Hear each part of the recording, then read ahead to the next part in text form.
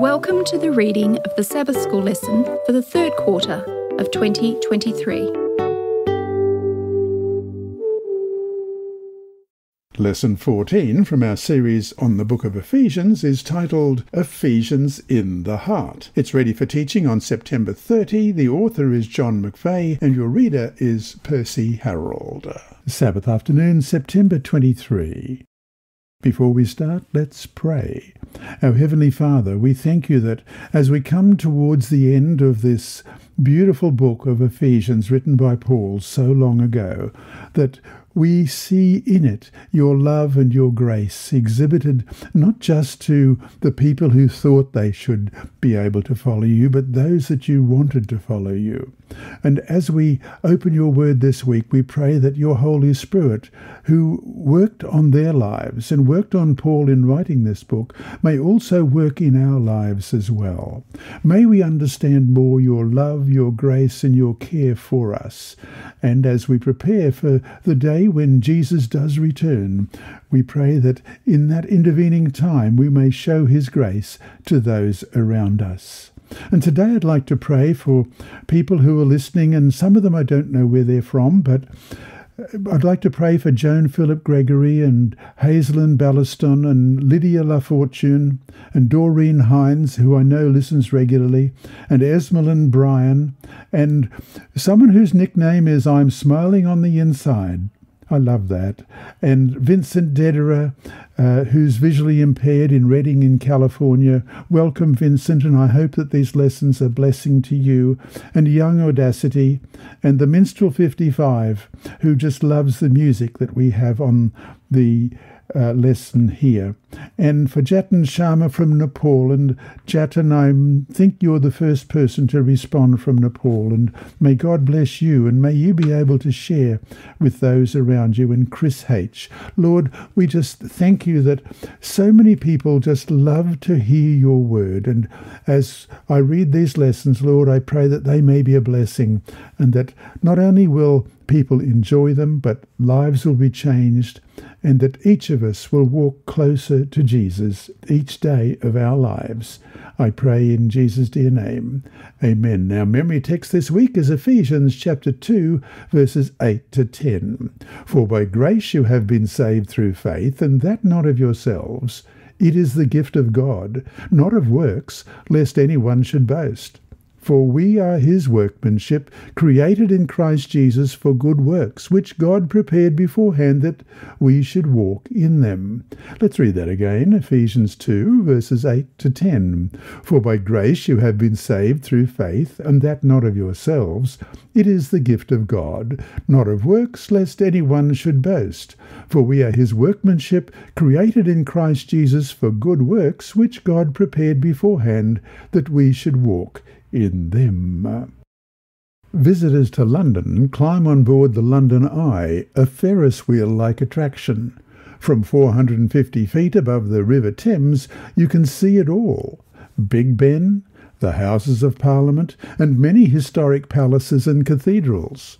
For New Testament scholar Nicholas Thomas, or Tom, Wright, the letters to the Ephesians, he writes, stands in relation to the rest of Paul's letters, rather like the London Eye.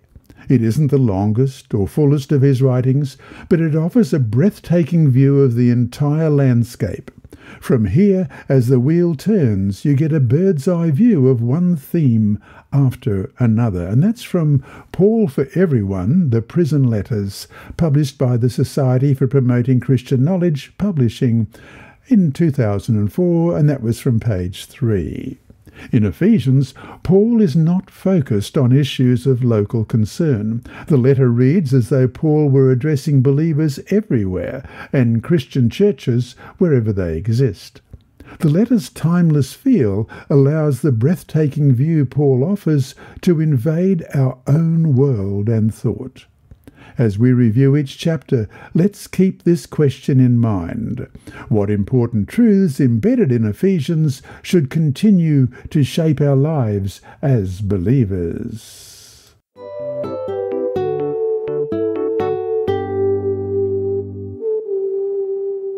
Sunday, September 24. we are blessed in Christ. Someone has described Ephesians as the Alps of the New Testament. Paul, our mountaineering guide, takes us on a rapid ascent in Ephesians chapter 1. We are quickly breathless and amazed at the view from the summit. Reflect on Ephesians chapter 1. What especially inspires you? What peaks do you see? Well, let's read the whole chapter. Paul, an apostle of Jesus Christ by the will of God, to the saints who are in Ephesus and faithful in Christ Jesus Grace to you and peace from God our Father and the Lord Jesus Christ.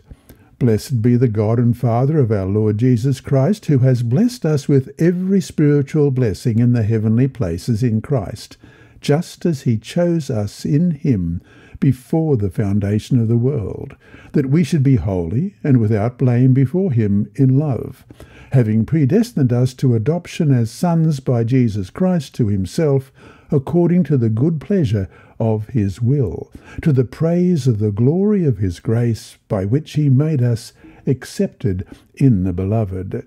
In him we have redemption through his blood, the forgiveness of sins according to the riches of his grace, which he made to abound toward us in all wisdom and prudence, having made known to us the mystery of his will, according to his good pleasure which he purposed in himself, that in the dispensation of the fullness of time he might gather together in one all things in Christ, both which are in heaven and which are on earth, in him in him also we have obtained an inheritance, being predestined according to the purpose of him who works all things according to the counsel of his will, that we, who first trusted in Christ, should be to the praise of his glory. In him you also trusted after you heard the word of truth, the gospel of your salvation in whom also, having believed, you were sealed with the Holy Spirit of promise, who is the guarantee of our inheritance until the redemption of the purchased possession, to the praise of his glory.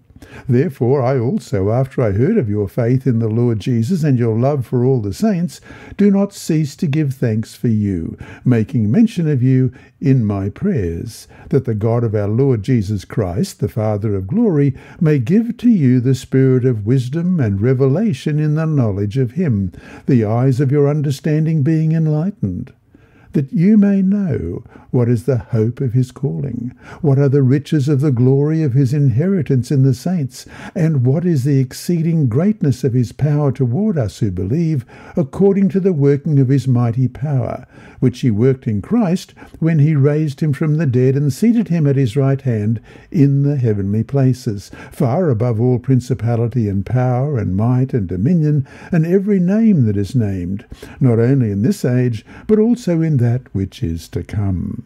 And he put all things under his feet, and gave him to be head over all things to the church, which is his body, the fullness of him who fills all in all. Ephesians chapter 1 verses 3 to 14 functions like a map of a mountain summit that identifies the peaks on the horizon, as Paul orients us to our beloved place in the vast landscape of the plan of salvation. The scenery covers the full span of salvation history from eternity past, through God's grace-filled actions in Christ, to eternity future. God's redemption of believers reflects divine initiatives taken before the foundation of the world, it said in verse 4, which are now being worked out in our lives, as we read in verse 7 and 8. In him we have redemption through his blood, the forgiveness of sins according to the riches of his grace, which he made to abound toward us in all wisdom and prudence. And in verses 13 and 14, in him you also trusted after you heard the word of truth, the gospel of your salvation, in whom also, having believed, you were sealed with the Holy Spirit of promise, who is the guarantee of our inheritance until the redemption of the purchased possession to the praise of his glory. These pre creation strategies will be fully accomplished at the end of time, we read in verses 9 and 10. Then all things, both in heaven and on earth, will be gathered together or united in Christ, and God's plan for the fullness of time will be fulfilled, as you read in verse verse 10. Then we will experience fully God's mysterious plan of verse 9. In the present, we may be certain that Christ centered salvation in which we stand is an important part of God's wide reaching plan for the redemption of all things being on a mountain top inspires thanksgiving. In Ephesians 1 15 to 19, Paul gives thanks to God as he prays that believers may experience the salvation God has planned for them. We find ourselves on another steep climb as he points us upward to the risen, ascended, exalted Christ, who rules over every imaginable power for all time, in verses 20 to 23, which he worked in Christ when he raised him from the dead and seated him at his right hand in the heavenly places, far above all principality and power and might and dominion and every name that is named, not only in this age, but also in that which is to come. And he put all things under his feet, and gave him to be head over all things to the church, which is his body, the fullness of him who fills all in all. Through the grace of God, expressed in Christ Jesus, we may live this day on the mountain top Ephesians 1 4 tells us that Christ chose us in him before the foundation of the world, that we should be holy and without blame before him in love. Think about what that means. Chosen in him before the world existed. What great hope should this offer you in regard to God's desire for you to be saved?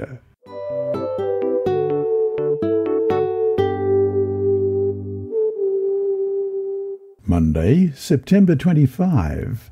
We are redeemed for community. As you read Ephesians chapter 2, seek to answer the following question What has God done for us through his Son, Jesus Christ? Well, let's read Ephesians chapter 2. And you, he made alive who were dead in trespasses and sins, in which you once walked according to the course of this world, according to the prince of the power of the air, the spirit who now works in the sons of disobedience, among whom also we all once conducted ourselves in the lusts of the flesh, fulfilling the desires of the flesh and of the mind, and were by nature children of wrath, just as the others. But God, who is rich in mercy, because of his great love with which he loved us, even when we were dead in trespasses, made us alive together with Christ. By grace you have been saved, and raised us up together, and made us sit together in the heavenly places in Christ Jesus, that in the ages to come he might show the exceeding riches of his grace in his kindness toward us in Christ Jesus. For by grace you have been saved through faith, and that not of yourselves. It is the gift of God, not of works, lest anyone should boast. For we are his workmanship, created in Christ Jesus for good works, which God prepared beforehand that we should walk in them. Therefore, Remember that you, once Gentiles in the flesh, who were called uncircumcision by what is called the circumcision made in the flesh by hands, that at that time you were without Christ, being aliens from the commonwealth of Israel, and strangers from the covenants of promise, having no hope and without God in the world. But now, in Christ Jesus, you who once were far off have been brought near by the blood of Christ.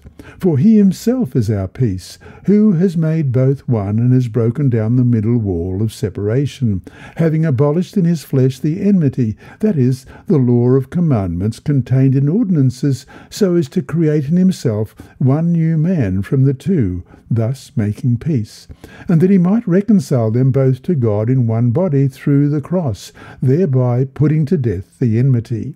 And he came and preached peace to you who were afar off, and to those who were near. For through him we both have access by one Spirit to the Father.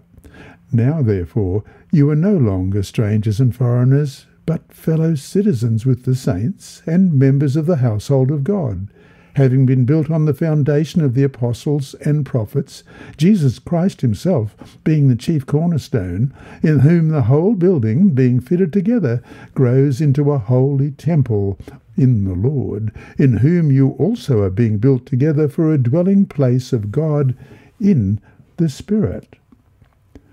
But God, these two words must be the most hope-filled ones known to humankind.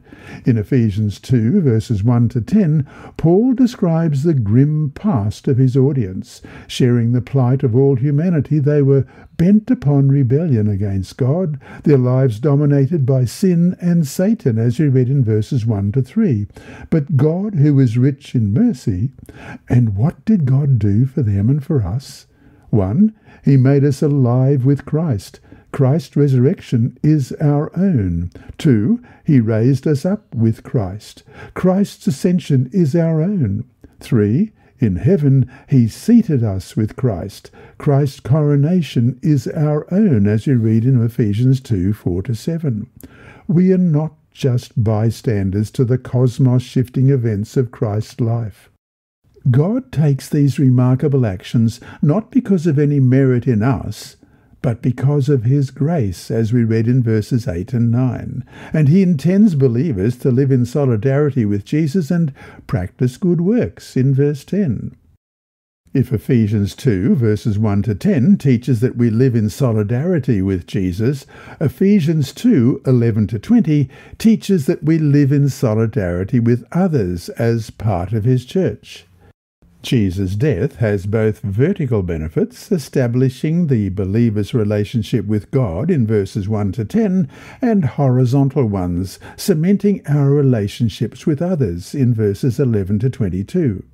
Through his cross, Jesus demolishes all that divides Gentile believers from Jewish ones, including the misuse of the law to widen the gulf in verses 11 to 18.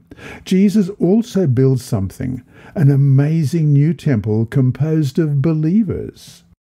Gentiles, once excluded from worship in sacred places of the temple, now join Jewish believers in becoming one we too become part of God's church, a holy temple in the Lord, as we read in verses 19 to 22. Through the grace of God, you have the privilege of living this day in solidarity with Jesus and your fellow believers. Ephesians 2 8 to 10 has played a role in the conversion of many.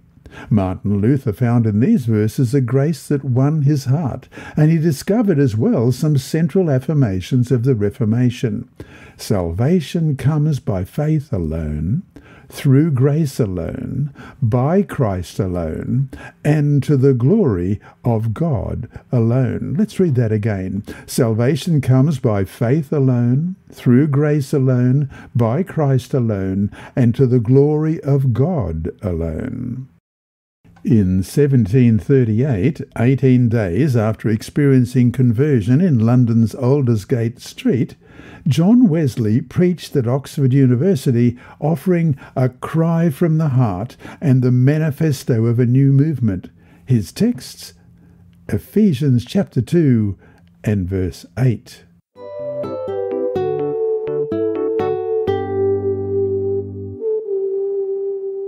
Tuesday, September 26. We are the Church of the Living God.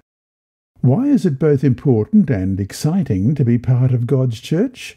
Well, let's have a look at Ephesians chapter 3, and we'll begin at verse 1. For this reason I, Paul, the prisoner of Christ Jesus for you Gentiles, if indeed you have heard of the dispensation of the grace of God, which was given to me for you, how that by revelation he made known to me the mystery, as I have briefly written already, by which, when you read, you may understand my knowledge in the mystery of Christ, which in other ages was not made known to the sons of men, as it has now been revealed by the Spirit to his holy apostles and prophets, that the Gentiles should be fellow heirs of the same body, and partakers of his promise in Christ through the gospel, of which I became a minister according to the gift of the grace of God given to me by the effective working of his power. To me, who am less than the least of all the saints, this grace was given, that I should preach among the Gentiles the unsearchable riches of Christ, and to make all see what is the fellowship of the mystery, which from the beginning of the ages has been hidden in God, who created all things through Jesus Christ, to the intent that now the manifold wisdom of God might be made known by the church to the principalities and powers in the heavenly places, according to the eternal purposes which he accomplished in Christ Jesus our Lord, in whom we have boldness and access with confidence through faith in him. Therefore, I ask that you do not lose heart at my tribulations for you, which is your glory. For this reason I bow my knees to the Father of our Lord Jesus Christ, from whom the whole family in heaven and earth is named, that he would grant you, according to the riches of his glory, to be strengthened with might through his Spirit in the inner man, that Christ may dwell in your hearts through faith that you, being rooted and grounded in love, may be able to comprehend with all the saints what is the width and length and depth and height, to know the love of Christ which passes knowledge, that you may be filled with all the fullness of God. Now to him who is able to do exceedingly abundantly above all that we ask or think, according to the power that works in us, to him be glory in the church by Christ Jesus, to all generations, for ever and ever. Amen. We are encouraged when we hear church members say positive things about the church. However, the most enthusiastic among us falls short of Paul's exuberant testimony in Ephesians 3 about the church. Paul starts a report of his prayers for believers in Ephesus in verse 1. And he goes through too in verses 15 to 23, but breaks off to discuss God's creation of the church in verses 2 to 13, and then completes his prayer report in verses 14 to 21. Along the way, he comes to understand important things about God's plan or mystery. In eternity, God conceives of the mystery or the plan about the church. We read about that in verses 3 to 5 and 9 and 11. Through the life and death of Jesus, that long hidden plan is accomplished, as it says in verse 11, and was also spoken about in the previous chapter, verses 11 to 22. By revelation, Paul learns the mystery of the church and the astonishing fact that Gentiles are to be full partners in it in verses 3 to 6. Paul participates in spreading this good news as preacher to the Gentiles of the unsearchable riches of Christ, as he expresses in verses 8 and 9. With many won to Christ, the Church, composed as it is of both Jews and Gentiles, displays the manifold wisdom of God to the principalities and powers in the heavenly places in verse 10, announcing their coming doom, as we find in chapter 6, verses 10 to 20. The plan to unite all things in Christ in Ephesians 1:10 is underway, and their time is short. This understanding of the church motivates Paul to pray for believers. Why not imagine him praying the heartfelt prayer of Ephesians 3 14 to 20 about you? Why not imagine him praying that you will be filled with all the fullness of God, as it says in verse 19, and participate fully in the amazing unfolding mystery of a unified church? And so to finish today, what are the kinds of barriers between believers in our church that, in light of what Paul has written, should not be there? What can you do to help remove them?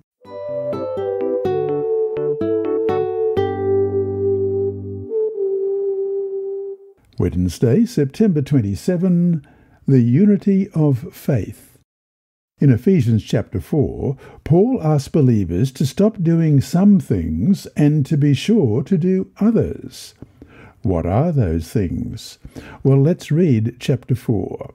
I, therefore, the prisoner of the Lord, beseech you to walk worthy of the calling with which you were called, with all lowliness and gentleness, with long suffering, bearing with one another in love, endeavouring to keep the unity of the Spirit in the bond of peace.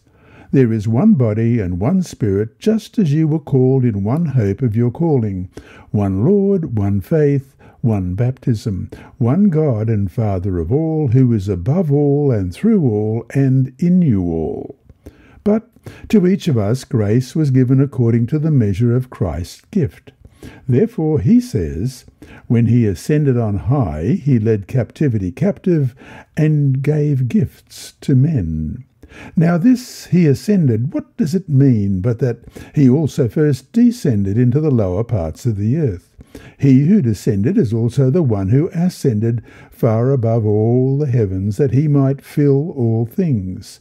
And he himself gave some to be apostles, some prophets, some evangelists, and some pastors and teachers for the equipping of the saints, for the work of ministry, for the edifying of the body of Christ, till we all come to the unity of the faith and of the knowledge of the Son of God, to a perfect man, to the measure of the stature of the fullness of Christ, that we should no longer be children, tossed to and fro and carried about with every wind of doctrine by the trickery of men, in the cunning craftiness of deceitful plotting, but speaking the truth in love, may grow up in all things into Him who is the head, Christ, from whom the whole body joined and knit together by what every joint supplies, according to the effective working by which every part does its share, causes growth of the body for the edifying of itself in love. This I say, therefore, and testify in the Lord, that you should no longer walk as the rest of the Gentiles walk, in the futility of their mind, having their understanding darkened, being alienated from the life of God, because of the ignorance that is in them, because of the blindness of their heart, who, being past feeling, have given themselves over to lewdness, to work all uncleanness with greediness. But you have not so learned Christ, if indeed you have heard him and have been taught by him, as the truth is in Jesus, that you put off concerning your former conduct the old man, which grows corrupt according to the deceitful lusts, and be renewed in the spirit of your mind, and that you put on the new man, who was created according to God, in true righteousness and holiness. Therefore, putting away lying, let each one of you speak truth with his neighbour, for we are members of one another. Be angry and do not sin. Do not let the sun go down on your wrath, nor give place to the devil. Let him who stole steal no longer, but rather let him labour, working with his hands what is good, that he may have something to give him who has need. Let no corrupt word proceed out of your mouth, but what is good for necessary edification, that it may impart grace to the hearers. And do not grieve the Holy Spirit of God, by whom you were sealed for the day of redemption. Let all bitterness, wrath, anger, clamour, and evil speaking be put away from you with all malice. And be kind to one another, tender hearted, forgiving one another, even as God in Christ forgave you. Ephesians 4 begins and ends with calls to care for each other as church members in verses 1 to 3 and verse 32. Between these invitations, Paul offers strong support for the idea that we should nourish unity in the church. He begins by listing seven ones. There is one body, one spirit, one hope, one Lord, Jesus Christ, one faith, one baptism, one God and Father, in verses 4 to 6. We are bound together by these spiritual realities. We are, in fact, united. While unity is a theological certainty, it requires our hard work. So we should always be endeavouring to keep the unity of the Spirit, as it says in verse 3. One way each of us may do so is by being an active part of the body of Christ, as we're encouraged in verses 7 to 16. Every member is a gifted part of the body and should contribute to the health of it. We read in verse 7 and in verse 16. And all should benefit by the work of apostles, prophets, evangelists, pastors, and teachers. We read in 11 and 12. These, like ligaments and tendons, have a unifying function, helping us grow up together into Christ, who is the head of the body. Verses 13 and 15. At the time, Paul also told them that we should no longer be children tossed to and fro and carried about with every wind of doctrine by the trickery of men, in the cunning craftiness of deceitful plotting, in verse 14 words that clearly suggest that the early church faced some internal struggles from the trickery of men. As Paul moves towards his final appeal to be kind to one another, tender hearted, forgiving one another in verse 32, he asks believers to avoid their former hard heartedness in verses 17 to 24, and to avoid anger and harsh speech, substituting instead language that builds up and imparts grace in the final six verses. This chapter on unity is easy enough to read when things are peaceful. It is more challenging and important to read it when we become embroiled in some conflict. Are you remembering today to experience the unity of the body of Christ, the unity for which He died? And so to finish the day, what are ways that we can contribute to the unity of our church, both at the local and worldwide levels? Why is it important that we do what we can.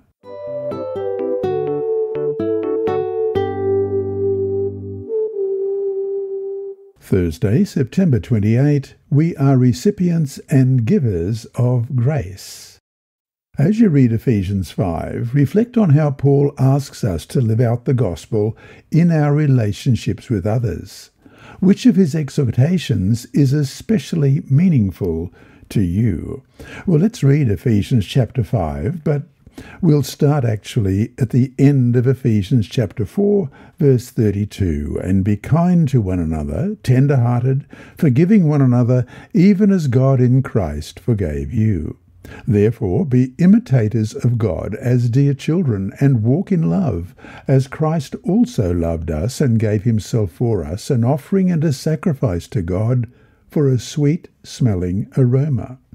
But fornication and all uncleanness or covetousness, let it not even be named among you, as is fitting for saints, neither filthiness, nor foolish talking, nor coarse jesting, which are not fitting, but rather giving of thanks. For this you know that no fornicator, unclean person, nor covetous man who is an idolater has any inheritance in the kingdom of Christ and God. Let no one deceive you with empty words, for because of these things the wrath of God comes upon the sons of disobedience. Therefore do not be partakers with them. For you were once darkness, but now you are light in the Lord. Walk as children of light, for the fruit of the Spirit is in all goodness, righteousness, and truth, finding out what is acceptable to the Lord. And have no fellowship with the unfruitful works of darkness, but rather expose them. For it is shameful even to speak of those things which are done by them in secret. But all things that are exposed and made manifest by the light, for whatever makes manifest is light, therefore he says, Awake you who sleep, arise from the dead, and Christ will give you light. See then that you walk circumspectly, not as fools, but as wise, redeeming the time, because the days are evil. Therefore do not be unwise, but understand what the will of the Lord is. And do not be drunk with wine, in which is dissipation, but be filled with the Spirit, speaking to one another in psalms and hymns and spiritual songs, singing and making melody in your heart to the Lord, giving thanks always for all things to God the Father, in the name of our Lord Jesus Christ, submitting to one another in the fear of God. Wives, submit to your husbands as to the Lord, for the husband is head of the wife, as also Christ is head of the church, and he is the Saviour of the body. Therefore, just as the church is subject to Christ, so let the wives be to their own husbands in everything. Husbands, love your wives, just as Christ also loved the church and gave himself for her, that he might sanctify and cleanse her with the washing of water by the word, that he might present her to himself a glorious church, not having spot or wrinkle or any such thing, but that she should be holy and without blemish. So husbands ought to love their own wives as their own bodies. He who loves his wife loves himself, for no one ever hated his own flesh, but nourishes and cherishes it, just as the Lord does the church. For we are members of his body, of his flesh, and of his bones. For this reason a man shall leave his father and mother and be joined to his wife, and the two shall become one flesh. This is a great mystery, but I speak concerning Christ and the church. Nevertheless, let each one of you in particular so love his own wife as himself, and let the wife see that she respects her husband. If you start reading Ephesians 5 at its beginning, you may miss the full power of an important theme. So, start instead with Ephesians 4:32, in which Paul tells the Ephesians to be kind one to another, tender hearted, forgiving one another, even as God in Christ forgave you. As believers, we are called to model our behavior toward others on God's forgiveness and grace toward us. We are to imitate God. Actually, we're going to read here Matthew 5, verses 43 to 48. You have heard that it was said, You shall love your neighbor and hate your enemy. But I say to you, this is Jesus speaking, love your enemies, bless those who curse you, do good to those who hate you, and pray for those who spitefully use you and persecute you, that you may be sons of your Father in heaven, for he makes his sun rise on the evil and on the good, and sends rain on the just and on the unjust. For if you love those who love you, what reward have you? Do not even the tax collectors do the same? And if you greet your brethren only, what do you do more than others? Do not even the tax collectors do so? Therefore you shall be perfect, just as your Father in heaven is perfect. Paul contrasts this imitating the love of God lifestyle with the usual pagan approach. Instead of treasuring others as brothers or sisters in the family of God, Humans all too often use others for their own sexual pleasure and then brag about it, as we read in verses 3 and 4 of Ephesians 5. He warns that such an approach has no future in the new world God is planning in verses 5 to 7. Instead, believers are to turn from the darkness of their past and walk as children of light in verses 8 to 10, mimicking the Father's love. Again, Paul warns us away from works of darkness done in secret in verses 11 and 12. By contrast, we are to live in the light of Christ in verses 13 and 14. Rather than wasting our lives in drunkenness, we will be redeeming the time by offering thanks to God for his love in verses 15 to 21. Paul extends his theme of imitating God's love as he advises Christian husbands and wives. Christ's self sacrificing love for the church becomes the model for Christian husbands in verses 25 to 33, while the loyalty of the church toward Christ becomes the model for Christian wives in verses 22 to 24. Rather than using the gift of human sexuality in a debauched and selfish way, a Christian husband and wife focus on valuing and treasuring each other, becoming one flesh in verses 28 to 33. Be imitators of God as dear children, we read at the beginning in verse 1. By God's grace, you are called today to live out that exhortation in your relationships with others. And so to finish today, how does Ephesians 5 2, which tells us to walk in love, help us understand what Paul means in Ephesians 5 1 about being imitators of God? So we'll read those two verses to finish today. Therefore, be imitators of God as dear children, and walk in love as Christ also has loved us and given himself for us, an offering and a sacrifice to God for a sweet smelling aroma.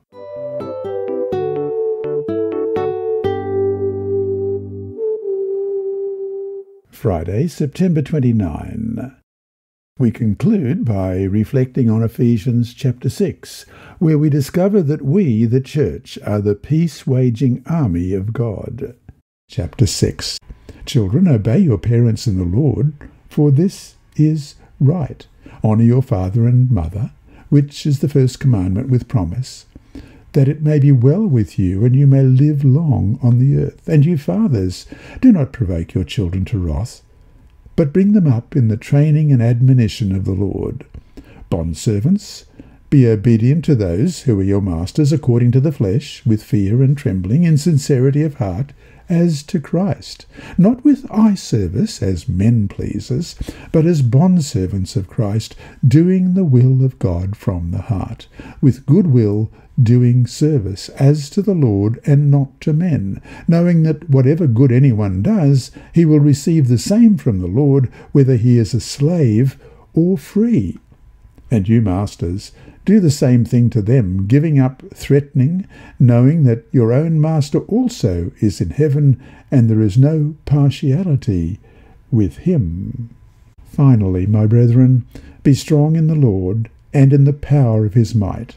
Put on the whole armour of God, that you may be able to stand against the wiles of the devil.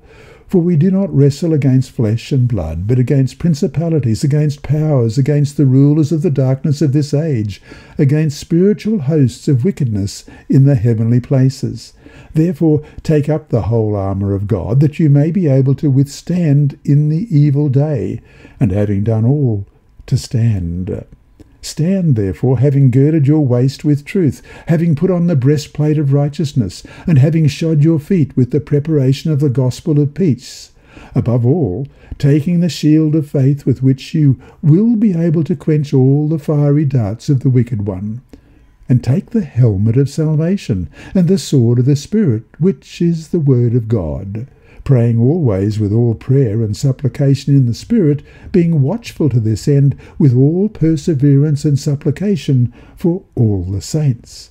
And for me, that utterance may be given to me, that I may open my mouth boldly to make known the mystery of the gospel, for which I am an ambassador in chains, that in it I may speak boldly as I ought to speak but that you also may know my affairs and how I am doing. Tychicus, a beloved brother and faithful minister in the Lord, will make all things known to you, whom I have sent to you for this very purpose, that you may know our affairs, and that he may comfort your hearts.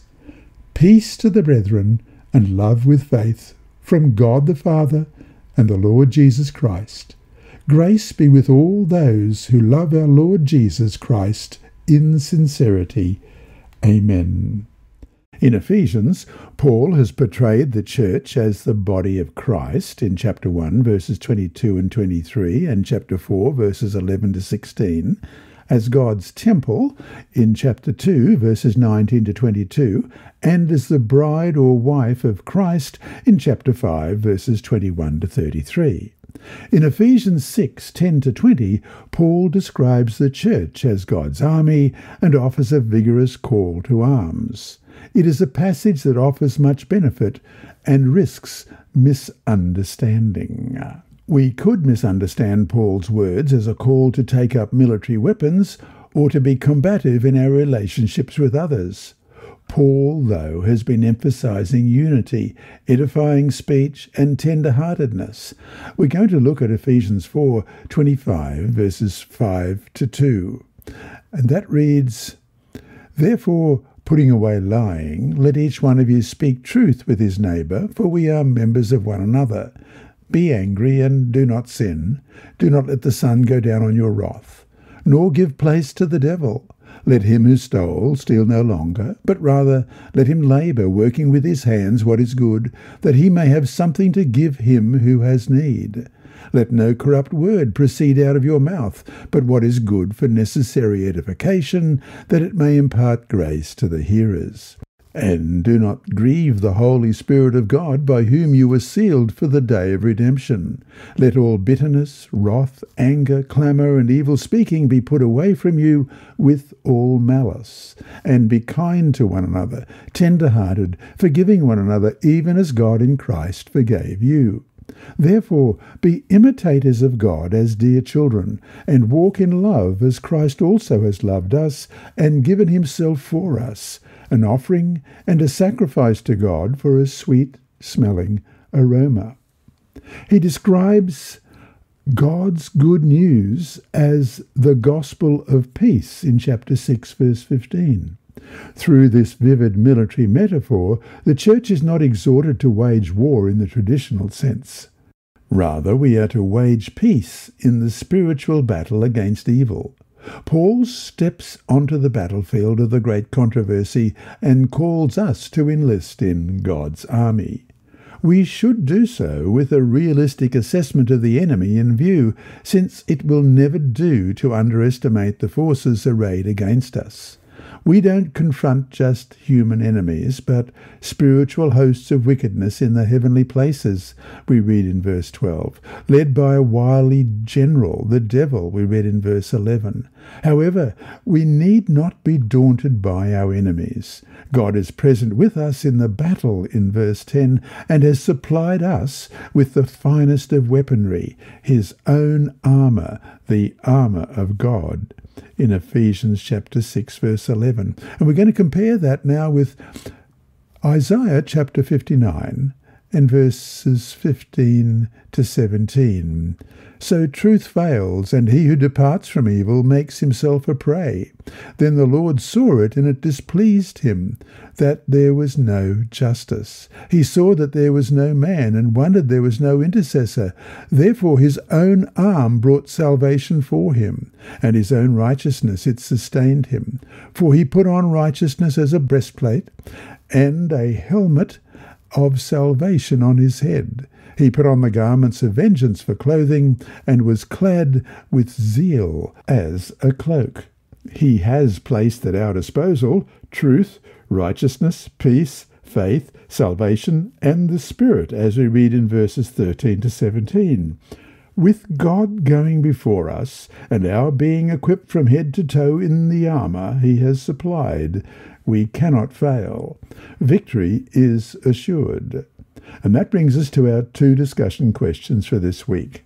One, though we are not saved by our works, what does Paul mean when he writes that we are created in Christ Jesus for good works, which God prepared beforehand that we should walk in them in chapter 2 verse 10?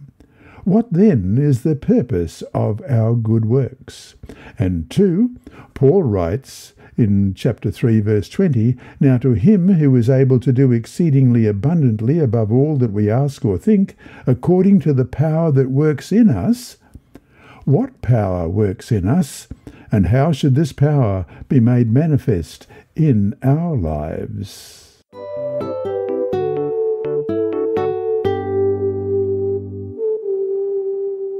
And now it's time for Inside Story with Sibylla. Thank you, Sibylla. Praising God for Epilepsy by Andrew McChesney. Anna Rosenberger has struggled with epilepsy since she was a child in Riga, Latvia. It wasn't only about seizures. Epilepsy affected her emotions and brain functions. It was hard for her to focus, and she longed to be healed. The summer after she graduated from high school, the 19 year old teen went to a psychic who claimed she could heal her. When the psychic saw she could not help, she told Anna about another client who found healing through a pastor's prayer. The psychic gave Anna the pastor's phone number. He will tell you a lot about his church and God, but don't listen to him, she said. Just take the healing and leave. The rest of what he says is a lie. Anna called the pastor. In their phone conversation, she heard for the first time about the Seventh day Adventist Church. They agreed to meet. At their second meeting, the pastor prayed for Anna, but the epilepsy remained. Anna liked the pastor and accepted an invitation to attend Bible studies. Later that summer, she attended a small group meeting at the church. Then she went to a Sabbath worship service. You know what? she told her mother afterward. I think the church is good. So Anna's mother went with her to church. A few months later, Anna was attending church with both her mother and father. The next summer, Anna and her mother were baptized. A year later, her father was baptized. Then her grandmother and brother were baptized. Over the years, many people have prayed for Anna. She has been anointed with oil, but the epilepsy has remained. Anna wondered why God had not healed her, but then it struck her. Like to the Apostle Paul, who also prayed for relief, God was saying to her, My grace is sufficient for you, for my strength is made perfect in weakness. in 2 Corinthians 12:9 in the New King James Version. Now Anna 30 sees epilepsy as a blessing. Since it is an illness she must deal with every day, she has learned she needs to trust God even more. Some Sabbath mornings she feels like staying in bed, but then she remembers she is scheduled to participate in church. So she goes to church and trusts that God will pull her through. Epilepsy also has helped her witness. The challenge has given her empathy for others. She doesn't always mention her epilepsy when she first meets people, but she has found that being vulnerable about herself helps others open up and listen. So my epilepsy has helped me spread the word, Anna says. I am thankful for the challenges with my health. This quarter's 13th Sabbath offering will go to two projects in the Trans European Division, including one in Latvia. Thank you for planning a generous offering this Sabbath. Greetings, Sabbath School friends around the world. My name is Emma Garrick, a final year nursing student at Avondale University in Cooranbong, Australia. You have been listening to my grandfather, Percy Harrold, reading the text of the Adult Bible Study Guide with this week's Sabbath School lesson. He has been doing this for free since 1996, long before I was born. Initially read as Eyes for the Visually Impaired through Christian Services for the Blind in Australia and New Zealand, it became a podcast in July 2007 and so became available to anyone around the world. In 2021, PA's podcast became the reading podcast for the official General Conference Sabbath School app with daily recordings of each day of the lesson. The podcasts of the reading of the Sabbath School lessons are available from Hope Channel Australia, primarily on SoundCloud, and thence on multiple podcast rebroadcasters, including Apple iTunes. For several years, it has also been available in YouTube format, with the voice of my grandfather syncing in time with the scrolling of the text of the lesson, including all the reference texts and for the visually impaired in the North American Division, it is available on CD from Christian Record Services out of Nebraska. Hope Channel Germany distributes it to the blind in Europe. You are over one of 40,000 who listen every week around the globe. Tell your friends to look up my grandfather on the internet. It is simple. Just search for Dr. Percy Harrold, select the site you want to listen to, make it a favorite on your device, and be able to listen again anytime you like. But downloading the General Conference Sabbath School app is a sure way to listen daily. That is the one with the blue rectangular icon with a stylized globe and three angels superimposed. And, as my grandfather would say each week, remember, God is always faithful.